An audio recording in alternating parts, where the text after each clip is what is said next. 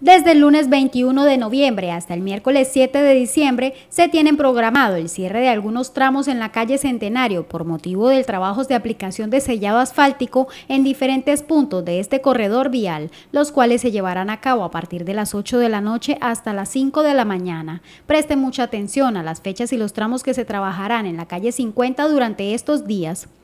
Lunes 21 de noviembre se cerrará el costado derecho desde la carrera 28 hasta la carrera 19. Martes 22 de noviembre se cerrará el costado derecho desde la carrera 20 hasta la carrera 14. Miércoles 23 de noviembre se cerrará el costado derecho desde la carrera 16 hasta la carrera 11.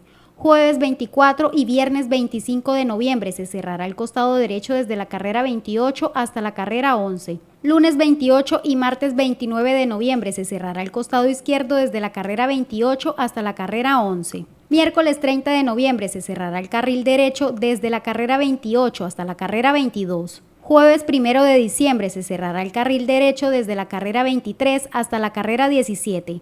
Viernes 2 de diciembre se cerrará el carril derecho desde la carrera 18 hasta la carrera 11. Lunes 5 de diciembre se cerrará el carril izquierdo desde la carrera 28 hasta la carrera 21. Martes 6 de diciembre se cerrará el carril izquierdo desde la carrera 28 hasta la carrera 16.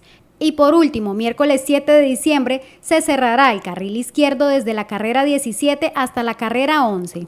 Tenga en cuenta estos cierres viales que se presentarán desde el lunes 21 de noviembre hasta el miércoles 7 de diciembre por motivo de trabajos de aplicación de sellado asfáltico en la calle Centenario a partir de las 8 de la noche hasta las 5 de la mañana y de ser necesario tomar vías alternas.